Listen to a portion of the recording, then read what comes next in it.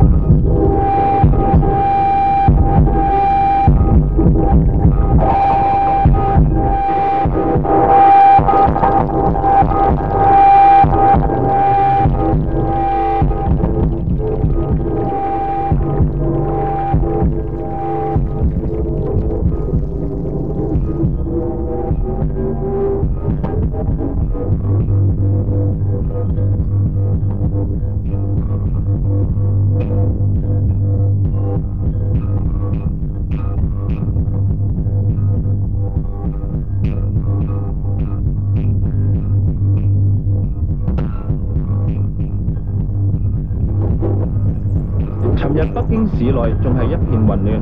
喺市中心附近嘅大街当中，有军车同巴士着火焚烧，解放军不时开枪赶散路上嘅人群。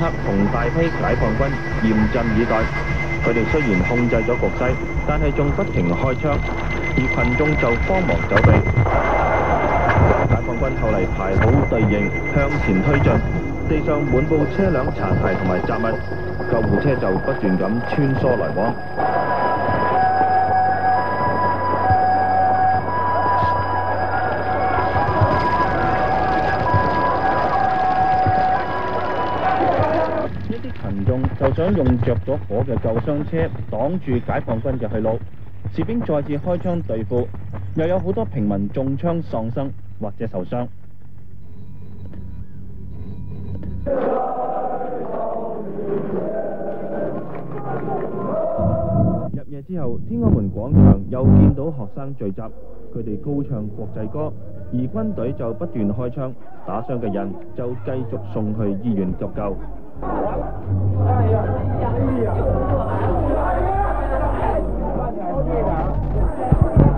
周电视记者。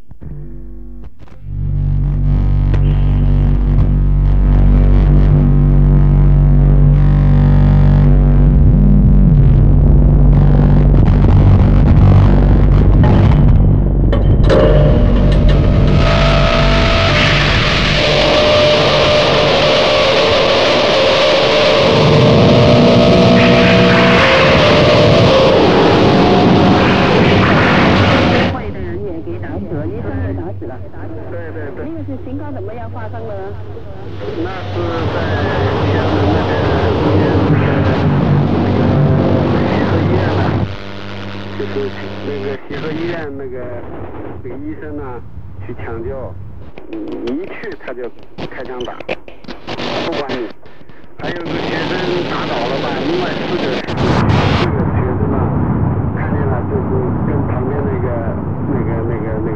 当兵的讲，我们把他抬过来。那当兵一点头，他们四个人举着手过去抬那个女女同学受伤的，这样的话呢，刚过去一弯腰，再一说死了。